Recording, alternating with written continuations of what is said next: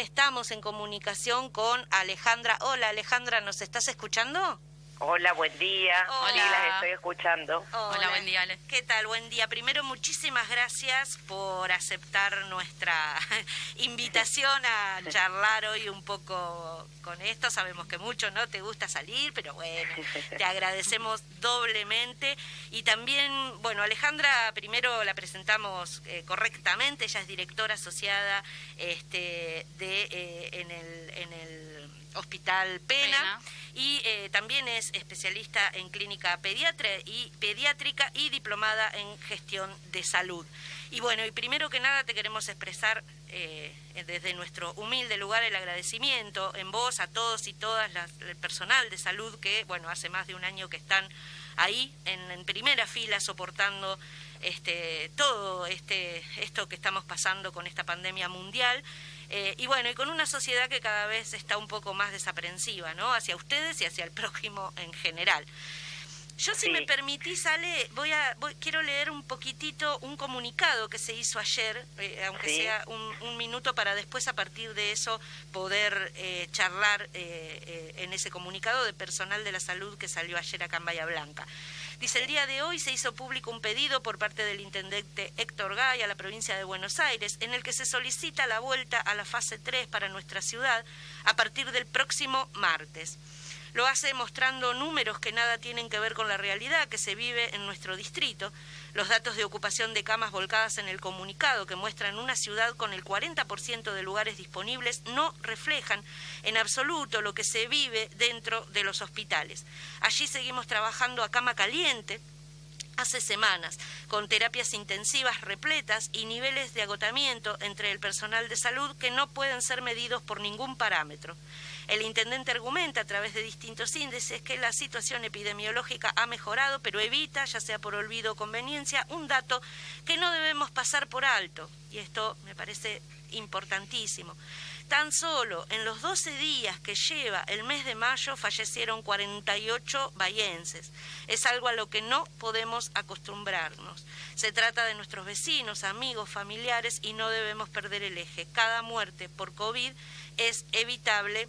Eh, eh, que es- evitable y se puede prevenir el contagio. Bueno, sigue un poquitito más y lo firman este, eh, eh, el comunicado está firmado por trabajadores de la salud, nucleados en el Foro Popular de Salud por la Justicia Social.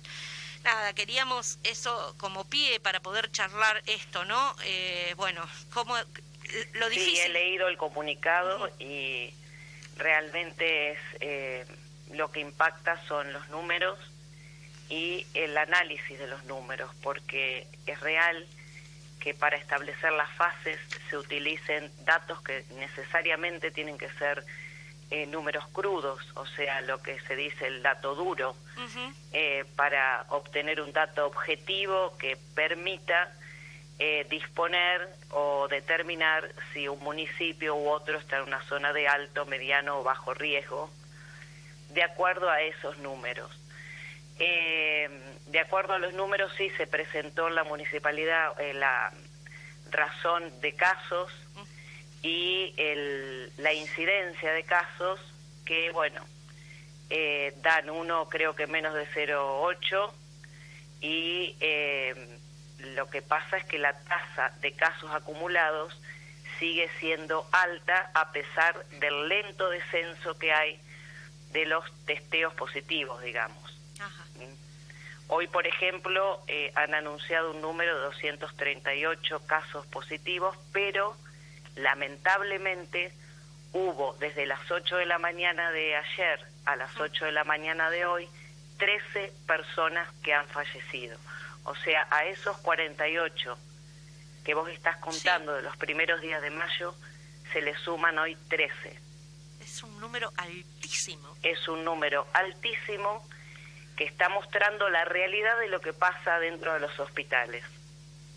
Que es real que las terapias están llenas y que si hay camas disponibles es por estos fallecimientos que ocurrieron, no porque se han dado altas.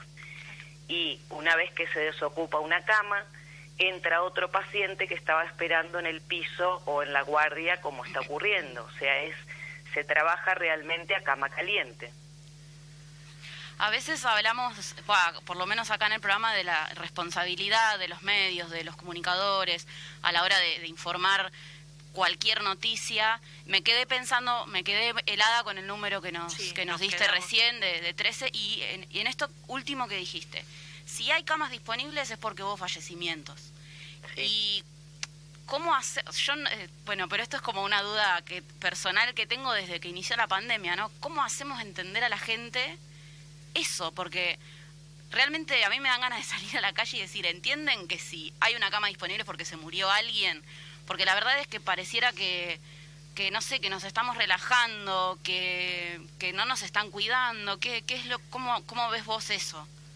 Y eh, la información y la forma de comunicarla juega un rol importante en la pandemia.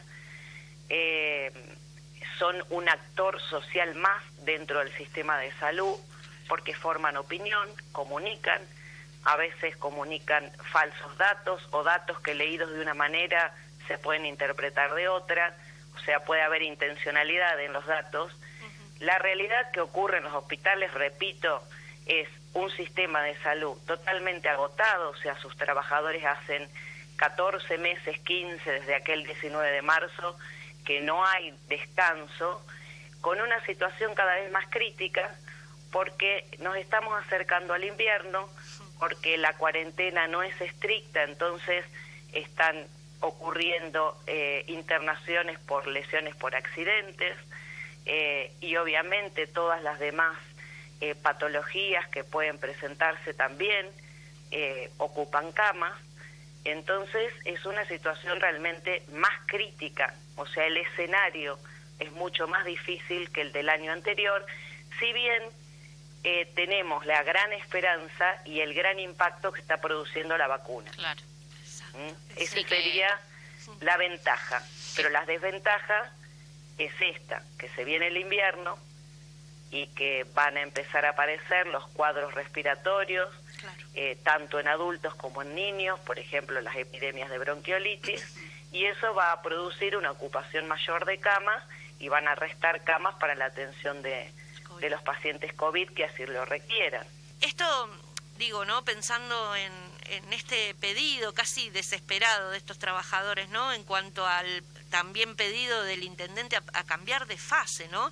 Es, es algo que no se entiende, que no termina de, de, entenderse. Estamos viviendo eh, lo más crítico quizá desde que empezó esta pandemia y están solamente preocupados, eh, bueno, por, el, por por un cambio de fase que aparte que ya sabemos que la fase 2 fue mentirosa porque no se cumple. Esto es así, literal, lo, vemos realmente, Sí, es una situación realmente que nos tiene, o sea, nos dejó medios asombrados, mm. no lo esperábamos, porque hay una disociación entre el mensaje que se da de cuidados y el mensaje de eh, liberemos. Si se cumplen con las restricciones, deberían controlarse y eh, no ha sucedido, o sea, fue una fase 2 falsa. Todos los quienes vivimos en el centro podemos ver cómo la calle está en situación normal, digamos. Salvo la presencialidad en las aulas, eh, el resto cursó normalmente. O sea que sería un pedido de algo que ya está ocurriendo. Claro. Sí, pero volverían los chicos a las escuelas también, que eso es lo... Claro, eso es un el, factor de El tema de la escuela, claro, Es, es un factor eh, difícil también. Nadie duda que la presencialidad es necesaria por el, el tema de desarrollo cognitivo y social del niño, pero eh, se deben establecer prioridades cuando uno tiene que gestionar. Y en este momento eh, no es una prioridad, digamos, exclusiva. Ale, te hago una pregunta. Es muy difícil el escenario porque nadie pone en duda la situación crítica del factor económico.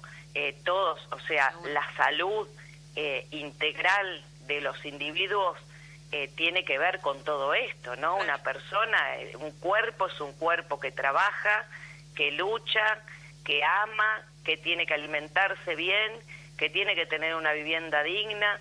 Todo eso es salud, que tiene que, que educarse dignamente, todo eso corresponde al derecho a la salud y obviamente es muy difícil contemplar todos estos objetivos, digamos.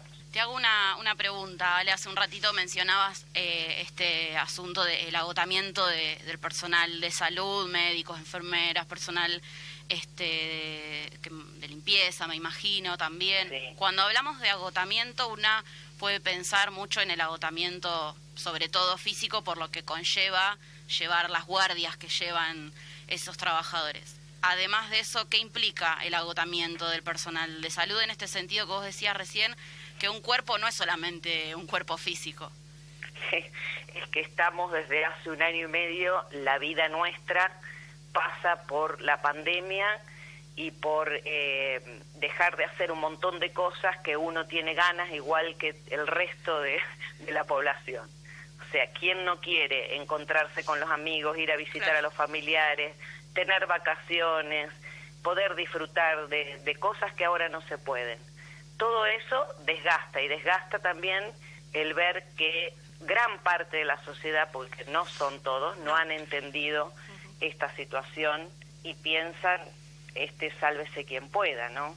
Sí. Y bueno, se enfermarán los que se tengan que enfermar y bueno, eh, se morirá el que se tiene que morir. Tremendo.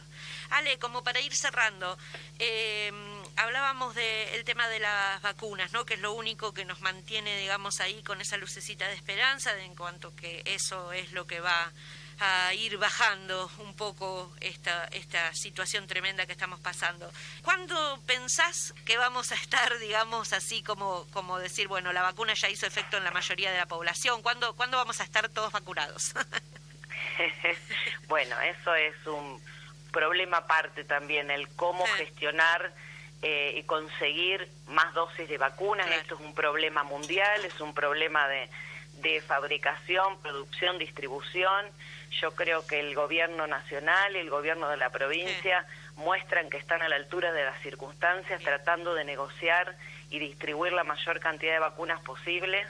El, programa Vacunate de la provincia de Buenos Aires ha sido un éxito porque ha logrado eh, impactar, digamos, en la población. Fíjense que de la cantidad de, de personas internadas graves y fallecidas, lamentablemente son en su mayoría personas que no tenían ni una dosis de vacunas y son ha cambiado incluso la edad eh, de, de internación, siendo la en general las personas que no tienen, porque todavía no les han correspondido la dosis.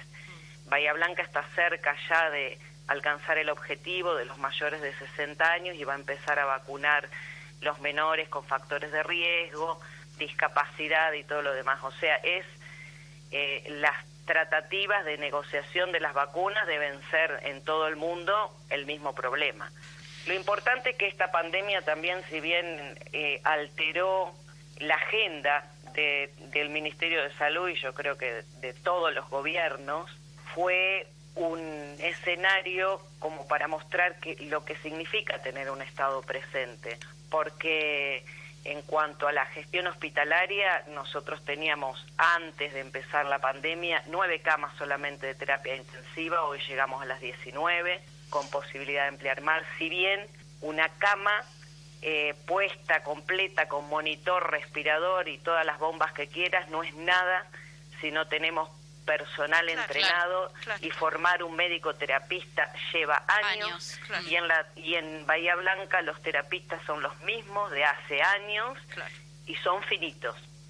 Eso es un límite muy grande, pero después ha estado presente en eh, la cantidad de insumos necesarios. Fíjense que cuando eh, faltaban medicamentos para la pseudoanalgesia, eh, también gestionaron la compra en otros países, hicieron que la compra centralizada limitara un poco el juego este del mercado con el asunto de precios, lo mismo que con los barbijos y todos los elementos de equipos de protección personal, lo mismo que con el tema de oxígeno, ha puesto plantas generadoras de oxígeno en la provincia.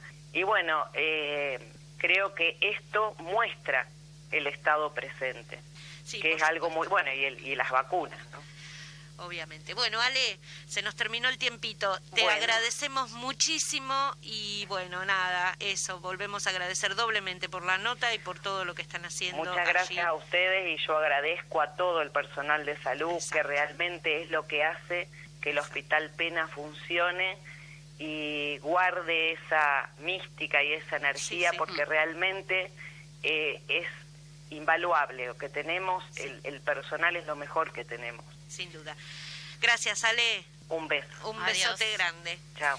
Bueno, ahí escuchábamos a la doctora Alejandra Herb, directora asociada del Hospital Pena, que bueno, que pudimos charlar un poquito sobre... que nos tiró datos duros, pero también sobre, durísimos. sobre el final, eh, bueno, esta esperanza, ¿no? Tenemos el plan de vacunación que está siendo muy efectivo y muy exitoso, y también eso lo tenemos que comunicar y lo tenemos que hacer ver porque se está llegando al objetivo, como dijo Ale, y bueno, tenemos que, que celebrar eso.